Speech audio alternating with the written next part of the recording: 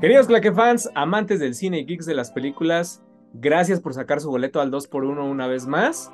Y el día de hoy estamos contentísimos, estamos entrando ya a las épocas del terror y tenemos que platicar obviamente de todos estos directores que salen de lo común. Y para eso está con nosotros mi hermano, ¿qué digo mi hermano? El rey del verano, el buen Chucho Sosa de Butaca 80. Así es, los voy a invitar a un campamento ahorita en ese octubre, ya por... Casual. Suiza, Suecia, no sé por dónde era, Noruega, por ahí, para que podamos ir adentrarnos en estas películas de terror de un director que ha dado eh, pues dos filmes espectaculares. Yo ya lo, lo, comentaba en algunos otros videos que yo no soy fan del terror ni del horror, pero estas dos películas de verdad que son, son una genialidad en, en, todo en toda la extensión de la palabra. Y pues hoy vamos a hablar de esto, mi querido Fer. Así es, hermano, pues uno de los cineastas eh, que han revolucionado últimamente las pelis, eh, muy nuevo diría yo, ha hecho algunos cortometrajes, pero en largometrajes hizo estas dos películas fabulosas y obviamente nos referimos a Ari Aster, que es un director americano, estadounidense, eh, que pues desde chiquito se involucró muchísimo en todo lo del mundo del terror. Él contaba que ahora sí que rentaba todas las películas que hubiera de terror, se, se aventaba toda la sección del blockbuster, o bueno, donde la rentaba en, en Cineclub, no sé cómo se llamaba en ese, en ese tiempo, pero eh, se acababa todas las películas de terror y obviamente pues tiene como esta atracción, esta influencia de, de, este género por todas las películas que se aventó en esos años y llega con estas dos maravillosas películas que la primera, o sea, wow, sorprendió, este, dio de qué hablar eh, pues sí, fue muy diferente a lo que plantearon al inicio en el tráiler, en el póster. Eh, nos sorprendió muchísimo con toda esta carga, eh, pues sí, ideológica que tiene la película. Y hermano, por favor, danos esta bienvenida para hablar de la película El legado del diablo, o en inglés, Hereditary. Así es. Fíjate que es algo bien curioso porque precisamente como lo comentaba, yo no soy fan de este género. Eh, y cuando escuché El legado del diablo dije, este es otro churro de esos donde va a salir demonios o un espíritu y que se van a voltear los ojos. Y dije, va a ser una porquería como cualquier otra película. A quien le guste, pues la verdad lo respeto mucho. A mí sinceramente no es algo que me encante. Sin embargo, eh, vi buenas críticas, buenas reseñas y dije, voy a darle una oportunidad. Y qué buena que lo, que lo hice. Qué bueno que lo hice porque esta película de verdad tiene cosas bien interesantes. Tiene eh, muy buena fotografía, tiene muy buenas actuaciones. Tony Colette está magnífica, maravillosa. Eh, todos los que salen ahí de verdad no tienen pierde. Uno piensa, hay giros este, desde el principio, o sea, ni siquiera es como como ay, vamos a esperar al final para que alguien muera o para que algo pase ahí como medio extraño, sino casi que desde el principio del un poquito menos de la, de la mitad ya están este, matando personajes importantes, ¿no? Y ya y, vamos descubriendo cosas eh, pues bien curiosas en esta película. ¿De qué va? Eh, pues es una familia, ¿no? Como tal, eh, pues común y corriente con una niña que no lo mencionan tanto, pero tiene como un rostro muy particular, ¿no? Por ahí, como una expresión, pues que ya de entrada nos da cierto misterio y pensamos que va a ir por ahí la cosa, y nos damos cuenta que no era tanto por ahí, sino que tienen un secreto bien, bien guardado como entre posesiones, como hechicería, como demonios, y tienen precisamente este legado o esta herencia, precisamente por eso se llama así la película, eh, pues de antepasados que tenían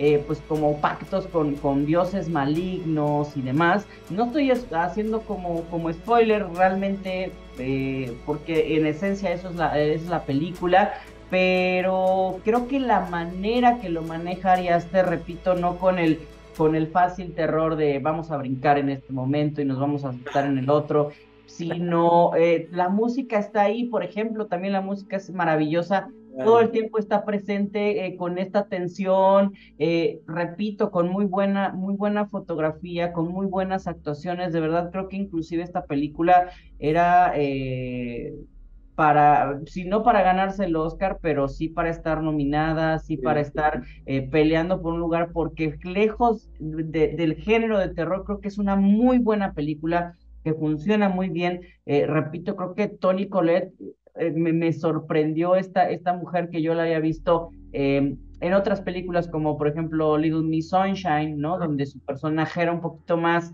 eh, pues la mamá buena, la mamá buena onda, ¿no? Que tenía sus cosas, pero ahí la, la rebasaban los otros actores, ¿no? Como tal, y ella era como una de las, de las actrices más bajitas, pero en esta película se la lleva por completo todo lo que pasa y creo que es una, eh, de verdad una película que tenemos que ver, nos guste o no nos guste el terror, porque en sí es algo bien interesante y bien impactante.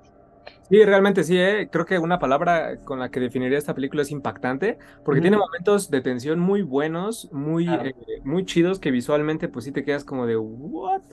¿Por qué está pasando esto? Y a mí, por ejemplo, me gusta mucho la actuación de este chico Alex Wolf, que lo habíamos visto ahí en algunas series de Nickelodeon y demás, pero en esa película lo hace bastante bien, o sea, creo que lo hace muy bien. Eh, Tony Colette obviamente se lleva la película, es magistral como lo hace digna de una nominación, diría yo. Eh, y como tú dices, ¿no? cuando nos plantearon esta película desde un inicio que yo veía el tráiler, veía el póster, eh, pensé que se iba a enfocar en esta niña, ¿no? En esta chiquilla, que es muy particular y que durante toda la película descubrimos por qué es así. Este, y no, realmente no, por eso digo que tiene muchas sorpresas, porque sí hay plot twists muy interesantes, muy, bueno, muy buenos. Este, pero esa película es magistral, ¿no? La mamá trabaja como diseñadora de como de maquetas, una cosilla así. Entonces, eh, obviamente, pues tiene como diferentes impactos que ella realice esto, ¿no? Ella a través de las maquetas es que representa todos los traumas que ha tenido. Entonces, pues a lo largo de la historia vamos viendo estas maquetas y cómo va, vamos, va representando su vida en ellas, ¿no? Es, es muy interesante. Al inicio hay una toma bien, bien interesante en donde es un, un dolly in o un zoom in, no, sé, este, a la maqueta, una maqueta de una casa y resulta que se transforma en, el, en una de las habitaciones en donde realmente viven, ¿no? Entonces, pues desde aquí te das cuenta que pues hay algo, ¿no? Eh, lo que nos quiere decir Ari Aster, que, que pues es una manipulación más allá de lo que conocemos, ¿no? En nuestra vida así podría ser, y en especial con esta familia que tienen un pacto por ahí con el, con el diablo o con algunos este, aliados del diablo no sé cómo decirlo, eh, pues nos damos cuenta, ¿no? Lo identificamos perfectamente que algo no está chido y que algo está muy manipulado en esa familia. Este, también, como tú lo decías, ¿no? La fotografía creo que es muy buena. Todos los movimientos que tiene la cámara son como muy sigilosos, como muy así de. Ah, ah, como bien. Pues bien a la expectativa de lo que vaya a pasar, ¿no? Y, y ya después, como lo mencionábamos con Jordan Peele, ¿no? Creo que este tipo de cineastas hay que ahondar más allá de lo que vemos, ¿no? Hay que tratar de, identificar todo, o sea, simbolismos, este, expresiones, ideologías, cosas que vemos. Y aquí lo que sucede es que hay como una, un tipo de secta que, eh, de la que es como jefa o es eh, la mayor representante, la abuela que muere al inicio, ¿no?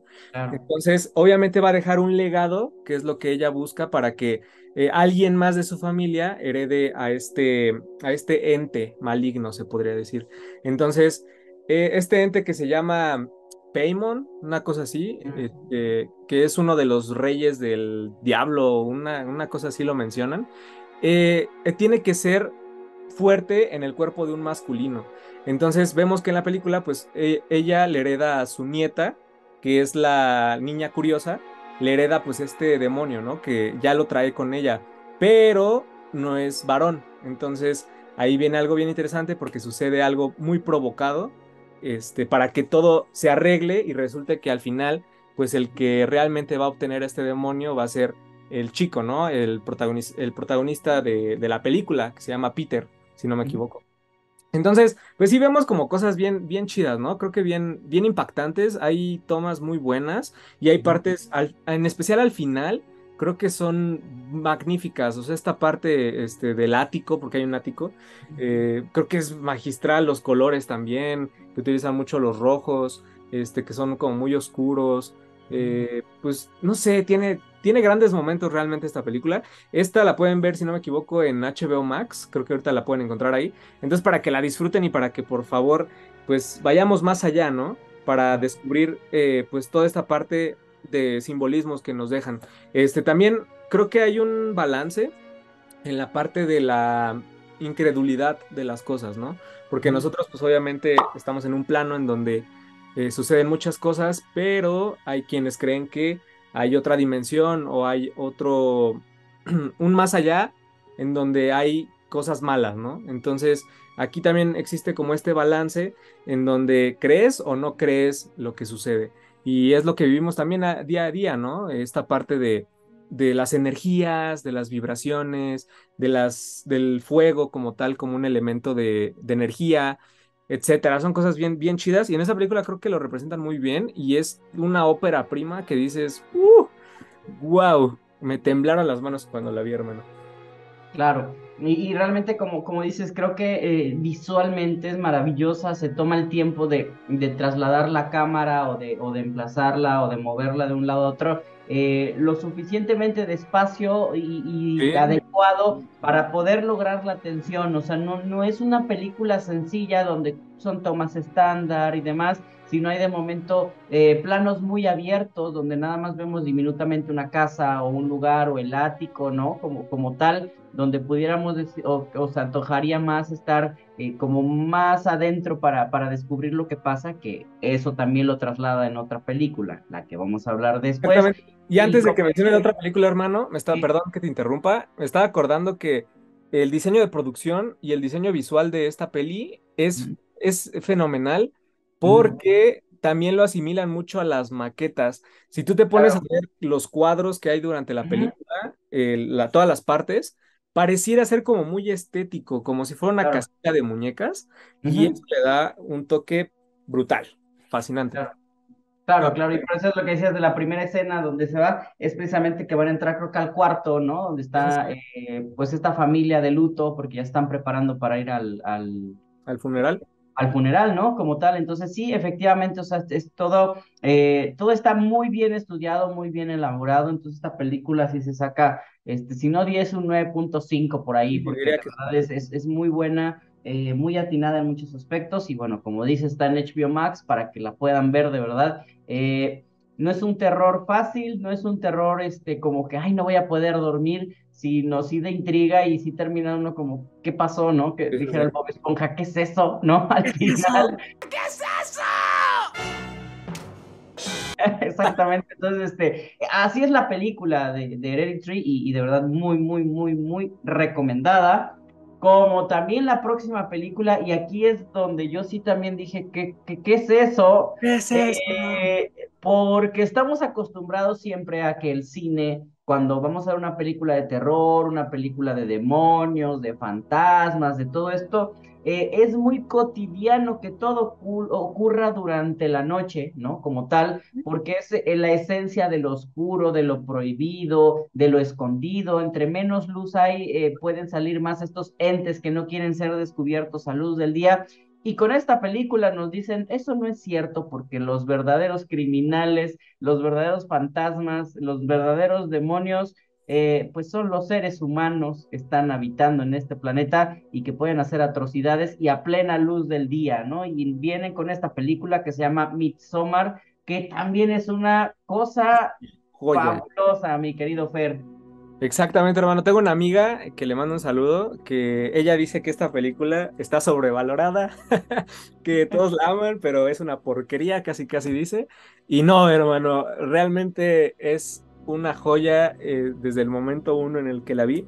Dije, wow, o sea, este, Ari Aster se tomó el tiempo de crear todo un ambiente, de crear toda una, un, un folclore, como lo llaman, este, y una cultura, ¿no? Que eso es lo que vemos, que es algo que no existe, o sea, este lugar que se ve en Midsommar para nada existe, sino que está basado en muchas cosas y en una realidad propia y en una personalidad, diría yo tal vez, eh, pues misma, ¿no? Que, que, no encuentras en otro lado con características muy particulares. Este, obviamente, desde el inicio, pues vemos que esta chica, interpretada por Florence Pugh, que es magnífica, eh, empieza a tener como algunos problemas familiares, tiene muchos duelos y pues para ella es impactante, ¿no? Es muy difícil y de repente uno de sus amigos le dice, ¿sabes qué? Pues vamos a, eh, te voy a llevar a un lugar para que se diviertan entre amigos, vamos a mi lugar natal para este, pues que ahí va a haber una fiesta Entonces eh, es una ceremonia que se hace cada determinado tiempo. Y pues vamos a relajarnos, vamos a pasarla bien. ¿Te animación, no? Pues cámara, vámonos. Y es, este, es esta aventura, ¿no? Que desde que llegan ahí empiezan a suceder cosas bien fumadas, diría yo, este, pero brutales, ¿no? Vemos eh, todo este, este ambiente que se genera y toda la sociedad que vive ahí, eh, muy particular, con muchas características muy diferentes a lo que habíamos visto, y que ellos, para ellos, es muy normal hacer cierto tipo de cosas, es parte de sus creencias y es parte de lo que hacen, pero para uno, pues sí dirías, what the fuck, ¿por qué está haciendo esto? ¿Por qué yo no lo entiendo y me duele y tengo una empatía con el otro, este, que no tolero ver lo que estoy viendo, ¿no? Y creo que también eso pasa mucho en el mundo real, o sea, vemos, por ejemplo, a los nativos de otros países como eh, de África, que pues se dedican a la cacería y que todavía son muy, este, a la antigüita, se podría decir, y que despellejan a los animales y hacen un montón de cosas, tienen sus trofeos y demás. Y pues para nosotros es como, qué horrible es eso, no lo quiero ver, eh, pero pues para ellos es su realidad y es lo que ellos tienen, ¿no? Entonces, hay una serie de cosas bien interesantes, hay elementos visuales muy bonitos, este, pero sobre todo la carga cultural que, que creó Ari Aster para esta película es una joya, hermano. Hay rituales eh, que forman parte de esta ceremonia. Este, y vemos, por ejemplo, el, me parece que es el primero, en donde un anciano se arroja del, al vacío y cae en una piedra y luego lo destruyen y demás. Que, que yo dije, esto es impactante, ¿por qué estoy viendo esto? No lo sé, pero me encanta. Así diría yo. Y así como este, hay otra serie de rituales que nos van encaminando a, una, a, un objetivo, ¿no? A algo eh, mayor, que es convertir a esta chica en la mera mera, en la reina, este, no estoy seguro si de la primavera o del verano, creo que es del verano, ¿no? Este, convertirla en eso y sin que ella sepa por qué o cómo sucedió. Entonces, bien interesante, Chucho. Esta película sí la pondría en una de mis favoritas de la vida entera, hermano. Es una película complicada porque a pesar de que es lineal y tiene el esquema de introducción, desarrollo, este, clímax, conclusión final, eh, van pasando muchas cosas y, muchas cosas no vamos entendiendo. Lo que tiene precisamente también Ari Aster es que nos va dando probaditas y nos va dando como hechos. Y, de repente pasa algo y no sabemos por qué, y luego pasa otra cosa y no sabemos por qué, y están pasando tantas cosas y no entendemos por qué, y ya hasta el final nos explica y todo encaja de tal manera y de con tal precisión que uno dice, ah, pues sí tenía lógica, ¿no? Como tal, no es como este eh, Deus Ex Máquina que al final se resuelve todo porque sí y ya, no, o sea, todo tenía un porqué. A mí me llamó mucho la atención también desde la primera escena, me atrapó la película y con esa secuencia más bien eh, me quedo, hay una parte donde ella eh, pues le pasa algo, creo que no recuerdo si muere, muere, un familiar o una cuestión así, y ella empieza a llorar y cuando ella está llorando, eh, un sollozo tan profundo y a lo lejos en la calle se, se escucha el, el, el, sonido de las sirenas de, de policía, me parece, o de, de ambulancia y demás, y al mismo tiempo se escucha ahí un chelo, ¿no? Muy profundo. Entonces todos estos sonidos están como en la misma dinámica, en la misma intensidad, en la misma tonalidad. Entonces se pierde y se conjuga, se conjuga también, y aparte es con una escena precisamente, eh, no sé si es un dolly out o un zoom out, pero va hacia atrás y nos va dando toda esta, esta nostalgia, toda esta pesadez y toda esta profundidad que el personaje está sufriendo y nos vamos alejando y cambiamos, ¿no? Entonces, e, e, esta escena, esta, este plano inicial o secuencia inicial es maravilloso y a lo mejor no tuviera tanto que ver con la película porque es nada más la introducción, pero desde ahí este cuate sabe qué está haciendo desde la música, la fotografía, la actuación de Florence Pugh. Con e, ese pedacito ya era algo bueno.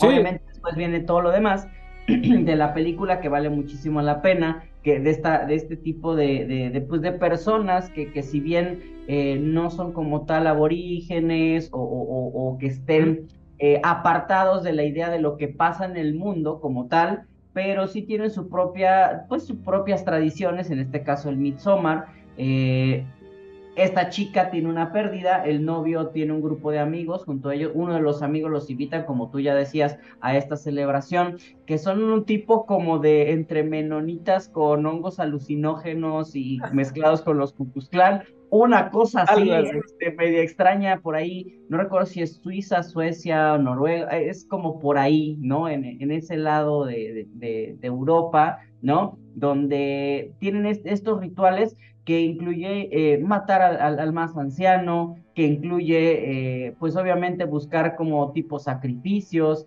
eh, comer comida de, de, de, carne humana, ¿no? Como tal. También ahí hay este, seres medios extraños, medios deformes. Vuelve a jugar un poquito el, el, el director con esta parte entre como de la persona que físicamente es diferente, ¿no? Con algún problema y lo vuelven al grado casi de deidad, ¿no? Como tal. Entonces, eh, e, e, es esto, estos simbolismos que vuelve a, manejar Ari Aster, la cuestión de las flores por ahí, eh, del oso, del sacrificio. Eh, hay una parte interesantísima cuando la están adoptando a esta reina, ahora reina de carnaval, como tal, este, cuando ella hace algo o llora o ríe, todas hacen lo Todos mismo. lo hacen. Lo algo completamente chocante de ella está llorando y entonces todas empiezan a llorar y, y, y es algo súper extraño. Ese es eh, un poquito, eh, creo que al grado de lo que veíamos en la película de todo en todas partes, ¿no? Cuando haz algo que nunca jamás harías, ¿no? Y de repente este, me golpea un ojo.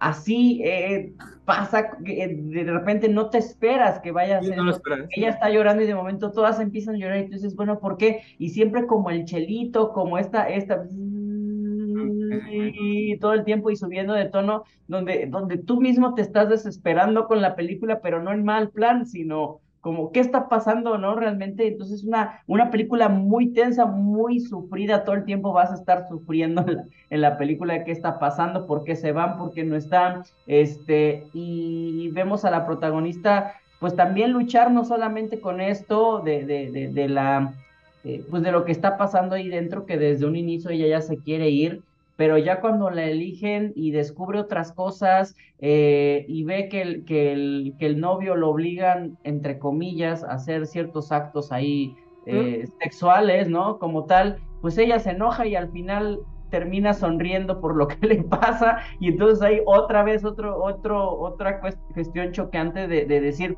bueno, se supone que estos son los malos, o bueno, no los malos, pero los que vemos extrañamente porque están haciendo cosas muy, extra, muy raras, pero cuando a ti te conviene como persona normal, ¿no? Este, en cuanto a socialmente hablando, pero hacen algo para, para lastimarlo y como a ti te había hecho también algo, entonces ahí sí está bien. Entonces pone la moralidad precisamente como tú Exacto. manejabas con esta dualidad de, bueno, eh, hacer ciertos actos están bien o están mal, o depende de la situación, o depende de dónde está pasando esto. Como bien dices, uno, uno ve la película y cómo es posible, dónde están los derechos humanos y las organizaciones unidas pero tú puedes decir, bueno, para ellos es completamente normal, entonces hasta dónde está bien, hasta dónde está mal y hasta dónde yo soy eh, el, más apto para decir qué está bien y qué está mal si yo mismo pu puedo formar parte de esto sin ningún problema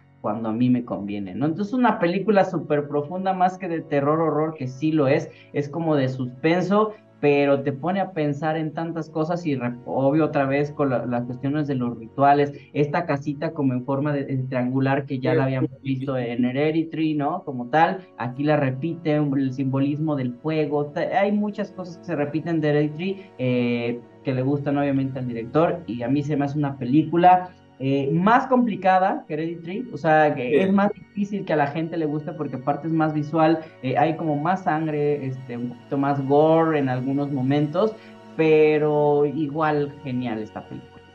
Exacto, hermano, y también eh, hay una parte bien, bien impactante que uh -huh. es ya casi hacia el final, que están en esta casita que tú dices y que empiezan como a lo largo de la película, pues empiezan a sacrificar a todos los amigos, entonces uh -huh. al final pues ya vemos que es como una ofrenda, ¿no? Y, pero los claro. vemos como rellenos, hay uno que lo meten adentro de un oso, o sea, hay cosas bien, bien gore, como tú dices, bien extravagantes, bien raras, pero que al final las disfrutas un buen y dices, órales, nunca había visto algo así de esta magnitud que esté bueno, ¿no? También los colores a mí me gustan mucho, al inicio, como tú dices, es como muy tenso, por todo lo que pasa a la protagonista, es como muy oscuro y demás, pero cuando llegan a este lugar todo se pone de colores, todo es muy pastel, este, los colores son bellísimos, me gustan mucho, la fotografía obviamente también es una chulada y también hay como uh, ciertos como dibujos en donde nos van explicando eh, varias características y partes de la, de la festividad, ¿no? Este, También hay por ahí una parte donde le dan hasta agua de, de calzón. Entonces está, está, está bien interesante, está muy, muy buena. Eh, sí, no creo que sea para verla con la familia, pero, pero si tú estás con tu novia o con amigos y quieres ver algo diferente, te la recomendamos al 100% Midsommar. Ahorita no estoy seguro si está en Netflix o en Prime. En Netflix, en Netflix. Estuvo en Prime, de hecho se, ah. se, estrenó muy poco tiempo después, yo creo que no pasó ni el mes de que estuvo en el cine y la pusieron en Prime. Creo que fue en tiempo como un poquito de pandemia, entonces por eso la pusieron ahí, pero ahora ya está en Netflix. Ya está en Netflix para que ahí la, la, disfruten, la vean y nos compartan sus opiniones acá abajo en los comentarios. Siempre es válido eh, pues compartir lo que piensan los demás, porque como dicen, es sobrevalorada y yo diría que no, que es infravalorada, que deberemos de ponerle más atención a esta clase de directores. Y un dato curioso, este vestido que está usando Florence Pugh, que está hecho de puras flores, eh, lo pueden encontrar en el Museo de la Academia, ahí en Los Ángeles, está exhibido y es parte ya de la memorabilia del cine, ¿no? De la historia del cine.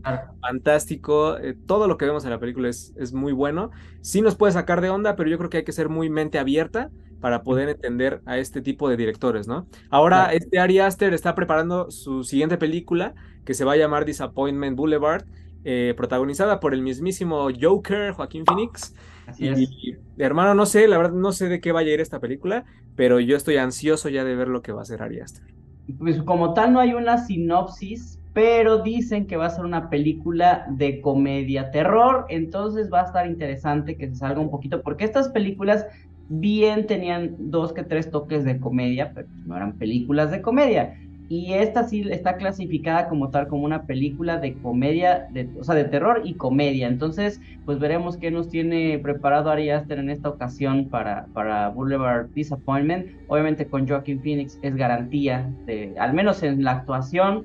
Y como para terminar esta, esta reflexión de la película de Midsommar, creo que esta película sí no era como oscareable, como festivaleable o, ganadora de algo eh, en ese aspecto, porque precisamente aunque no es experimental como tal, porque no es una película experimental, pero sí es de esas películas que tienen tanta simbología, tanto mensaje, eh, tantas cuestiones por ahí encriptadas o no, que son más como estas películas para, para apreciar ¿no? La, las simbologías para estudiarla, para el análisis, para hacer una reflexión de vida, eh, muchísimas otras cosas, más que mero entretenimiento o más una película eh, que nos deje algo eh, estético o que nos deje algo interpretativo. O sea, si es una película complicada, es una película difícil, entonces sí, yo creo que esta eh, no era para ese tipo de, cine, al contrario de Hereditary, que creo que era un poquito más comercial y que pudo haber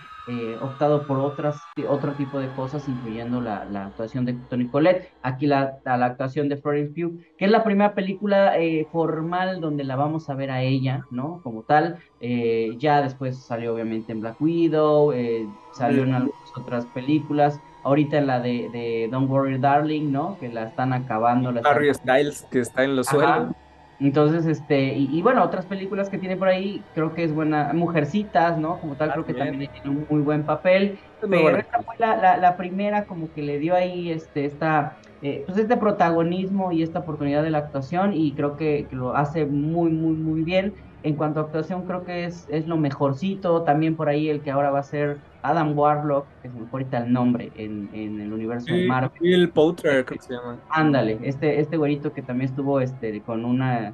Eh, ¿Quiénes son los Miller, Maze ¿Quiénes son los Miller, efectivamente? Que este, a, ustedes les pagan, este, y lleno de memes, obviamente. Y obviamente estas películas también estuvieron días de memes como Hereditary, donde este, yo el lunes, el, o algo así, el lunes, ¿no? Una cuestión así con el poste yo y el, el poste y el lunes, ¿no? Entonces, este, eh, hay muchas cosas muy divertidas, pero bueno, creo que hay que seguir la pista a, a, Ari Aster y su próxima película que se estrena en 2023, ahí vamos a estar pendientes, porque como Jordan Peele también son directores que están apostando por este género de terror que se ha ido completamente a, lo comercial y que ahorita pueden decir, ¿sabes qué? Se pueden hacer muy buenas cosas, muy interesantes en este género eh, y, lo están haciendo muy bien. Sí, vale la pena revisar a cada uno de ellos. Y por favor, coméntenos qué otro director propondrían. Pero yo te voy a proponer, Chucho, que la próxima semana hablemos de Robert Eggers, también uno de los directores que sale y que nos enseña de más y que dice yo, yo hice esto y esto y esto y está brutal con la bruja, con este el faro, que es una joya hermosa, y eh, recientemente con la del hombre del norte, el norteño. Entonces, ya hablaremos de Robert Eggers en su momento. Este, por favor, díganos qué otra, qué otra película o qué otro director este, proponen ustedes. Eh, gracias, Chucho, por platicar conmigo de Ari Aster. Es un grandioso cineasta, eh, muy buen guionista también. Creo que sí, todas sus películas son muy redonditas, muy, muy chulas y te sorprenden bastante. Eh, ahorita en la cabeza me viene el de Heredity, la parte en donde la mamá está golpeándose en el ático. ¡Wow! Es brutal, es, es fantástica. Y de Midsommar, pues obviamente la danza, ¿no? También de, las chicas, que al final, pues la última será la campeona. También es, un, son, es una gran escena que se queda para siempre en la mente del cinéfilo, ¿no? Claro, claro. Y pues bueno, pues sigan aquí al 2 por 1 aquí en la claqueta en esta ocasión. Todas las redes sociales, por favor. Así es, las que están aquí apareciendo abajo, síganos, suscríbanse, compartan, denles like, manden dinero, ah, lo que sea, pero ayúdenos también, no sean así, pero bueno, que, tenemos que comer de alguna forma. Exacto, no, pues nos vemos la próxima semana. Y por favor, ya lo saben, síganos en todos lados. Mi nombre es Fer Esteves, está con nosotros el buen Chucho Sosa de Butaca 80. Y si eres fan de corazón o eres cinéfilo o cinéfila de nacimiento, estás en el lugar correcto. No lo olvides nunca, te queremos. Nos vemos, Chucho. Nos vemos, nos vemos. Oye, este, voy a desaparecer, este, no sé cómo voy a desaparecer. Voy a tomarme un té, con permiso. Ah, yo no sé, yo no sé qué va a hacer, pero, pero ya me voy, adiós. Adiós.